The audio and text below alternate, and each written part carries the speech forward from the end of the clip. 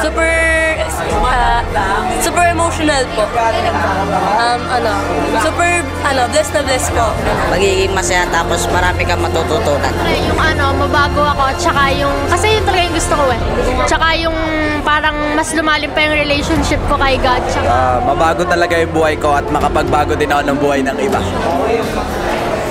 ano, hini ng mga yung mga gusto ko, yung yung mga gusto ko para sa iba, yung gusto ko rin para sa sarili ko. Mas mas lumalim pa po yung relationship ko kay Lord. in-expect ko na ano, mas makikilala ko palalo yung Lord. Tsaka in-expect ko na ano, unti-unti niya ako mababago through process.